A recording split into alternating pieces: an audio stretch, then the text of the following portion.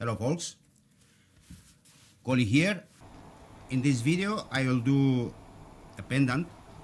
It is a round pendant. It is a frame for, for a picture in yellow gold with, with diamonds.